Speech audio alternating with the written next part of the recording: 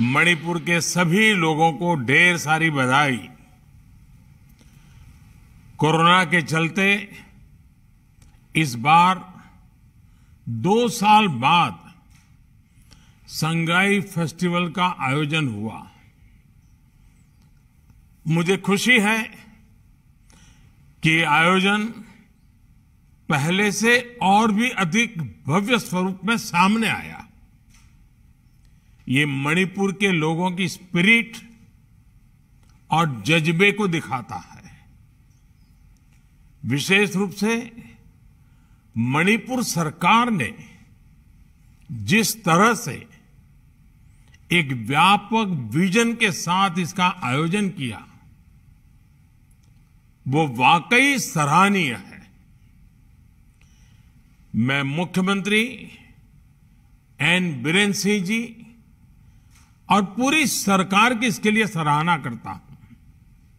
साथियों, मणिपुर इतने प्राकृतिक सौंदर्य, सांस्कृतिक समृद्धि और विविधता से भरा राज्य है कि हर कोई यहाँ एक बार ज़रूर आना चाहता है। जैसे अलग अलग मणियाँ एक सूत्र में एक सुंदर माला बनाती है।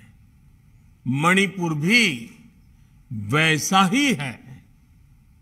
इसलिए मणिपुर में हमें मिनी इंडिया के दर्शन होते हैं। आज अमृत काल में हमारा देश एक भारत श्रेष्ठ भारत की भावना के साथ बढ़ रहा है।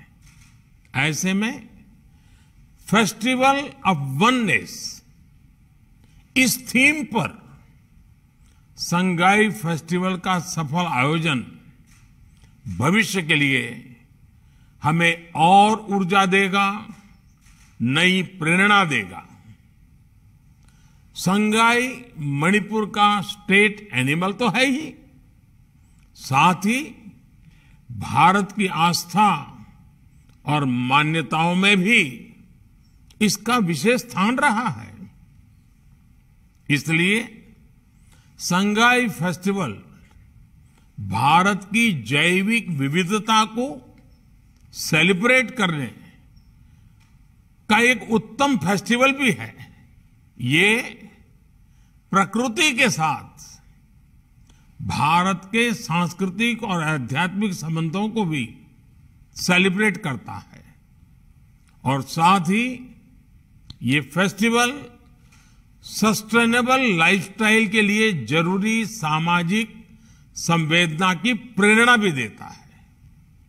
जब हम प्रकृति को जीव जंतुओं और पेड़ पौधों को भी अपने पर्वों और उल्लासों का हिस्सा बनाते हैं तो को एग्जिस्टेंस हमारे जीवन का सहज अंग बन जाता है।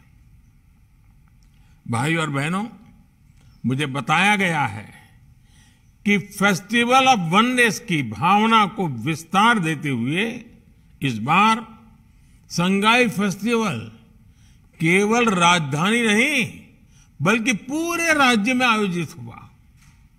नागालैंड बॉर्डर से म्यांमार बॉर्डर तक करीब चौदह लोकेशन पर इस पर्व के अलग अलग रंग दिखाई दिए। ये एक बहुत सराहनीय पहल है जब हम ऐसे आयोजनों को ज़्यादा से ज़्यादा लोगों के साथ जोड़ते हैं, तभी इसका पूरा पोटेंशियल सामने आता है। साथियों, हमारे देश में पर्वों, उत्सवों और मेलों की सदियों पुरानी परंपरा है। इनके ज़रिए हमारी संस्कृति तो समृद्ध होती ही है। साथ ही लोकल इकोनॉमी को भी बहुत ताकत मिलती है। संगाई फेस्टिवल जैसे आयोजन निवेशकों को, उद्योगों को भी आकर्षित करते हैं। मुझे पूरा विश्वास है ये फेस्टिवल भविष्य में भी ऐसे ही उल्लास और राज्य के विकास का एक सशक्त माध्यम बनेगा।